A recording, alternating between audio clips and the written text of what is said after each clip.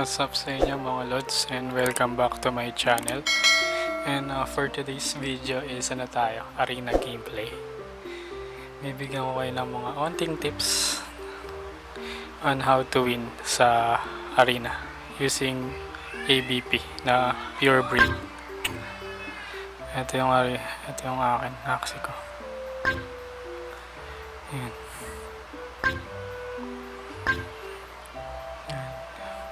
Last ano, season, yung bago pa yung update, na siguro aabot kayo dito ng mga 1.6 to 1.7 AM, ah, MMR. Yun na siguro yung pinaka-peak niya. Kasi pagdating dun sa MMR na yun, puro Terminator na. May hirapan tayo. So ngayon, dahil kaka-reset lang kahapon, yan, nasa 1.2 pa lang tayo, 1.2.6 to. So try nating mag-arena. Hopefully, nasa taas na yung mga malalakas.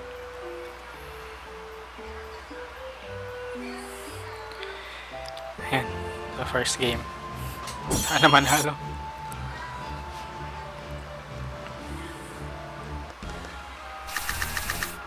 Mhm.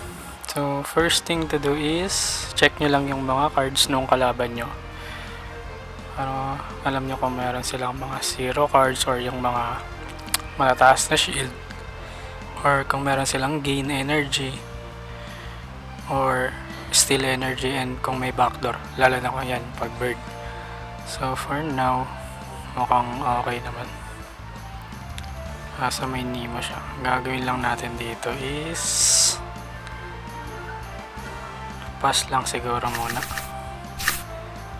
Ayun ang kati Mhm, sakit. Yan pala binaba natin to. Pero, so nag-gain siya ng isang energy. So may tatlo pa siyang energy ngayon. So possible na tira dito. Ito kasi dapat mapatay natin to agad eh. Maganto muna tayo.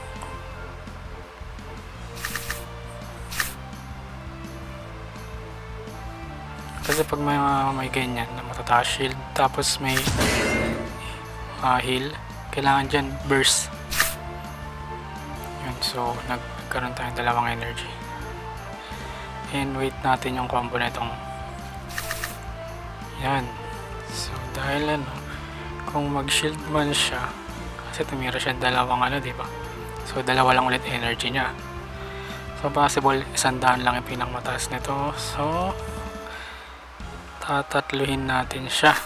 Mga ganyan. Or mag speed up tayo ng isa para sa susunod. Titi muna tayo sa bird. Tapos ito. Kasi baka mamatay na to eh. Yan siguro. Pinakamagandang tira. Aray ko po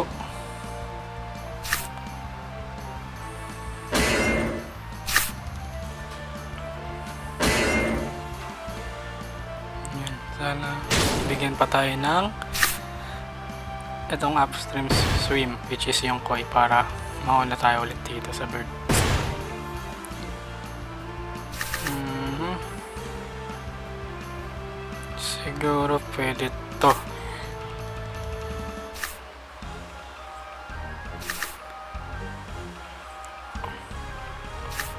Yan. So, pwede natin itira yan para next round, mauna pa tayo sa bird. Tapos, makaka 4 cards pa tayo. So, mababurst natin yung burst niya sa likod. Yan yung pinakamagandang tira dyan. Kahit na nakalastan lang yan. Yan. So, mauna na tayo dyan. Yun lang. Pero okay lang. At least may burst natin siya. Kailangan kasi makatira na tayo.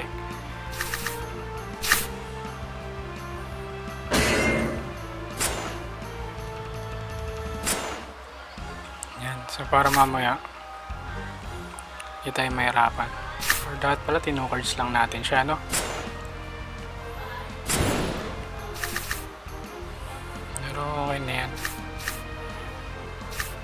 Kaso pag nag 4 cards to, GG tayo.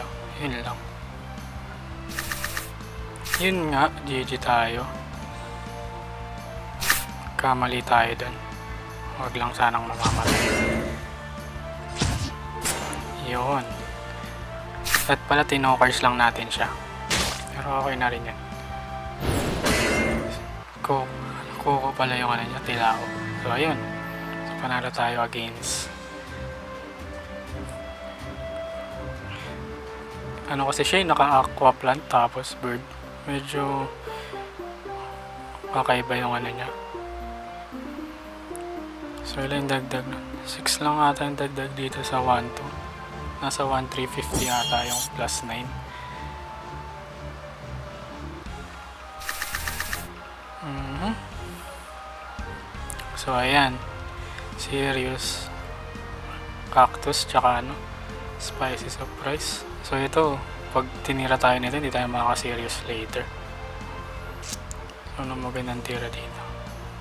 Baka magpas lang to eh. Kasi kung magda-double serious siya, kahit magganyan tayo, hindi mababasag. Ay, mababasag pala. Ah, so, ganun din, makukuha lang din yung ano. Pass na lang tayo. Baka magpas lang din yan. Ito, mahirap kalaban. Lalo na pag ganito lang yung makakuha mo. Kasi tingnan mo yung shield niya, no? Lamang na lamang sa'yo. Kahit i-burst out yan ng apat na cards. Tapos babalik lang. Mahirapan tayo dito. Malakas yung ano niya, AVP niya. Paunahan lang makabuta siguro nitong plan. And since meron siyang heal, siguro ganti na lang natin. Hindi naman siguro mataas yung ano niya. Benta na lang. Yan.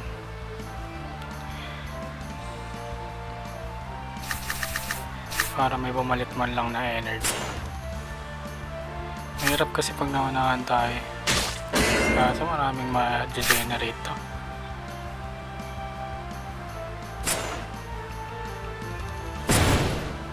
Ayun, wala tayong ivory stab para may pumalik man lang sa ano. Mhm. Pag ganito kasi 3 cards lang lagi yung ano mo. Ito 3 cards lang to lagi ng ako eh. Nag-gain energy siya eh. So meron pa siyang sure na tatlong tira. Mhm, mahirapan tayo dito kasi. Pero kung hindi natin siya titirahin, baka mag-gain energy ulit siya. Sugal na to. Kaso baka mamaya, magkukoy yan.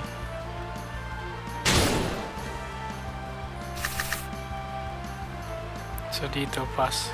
Pero sa ganong sitwasyon, pwede kang mag-pass nun tulad ng ginawa niya para sa susunod na round, ikaw ulit titira using this upstream swim. Kasi sure ka na ikaw ay mauna dun. Kasi nga, tulad ng akin na yan, 2 energy na lang. So, sa following round, pwede ka ulit mag 4 cards. So, magka 4 cards, magka 3 cards, tapos 2 cards. Ay, 4 cards sa next. Sana ma-survive natin yung sa susunod. Yun. Okay. Buti na lang, ganun. Siguro akala niya titira.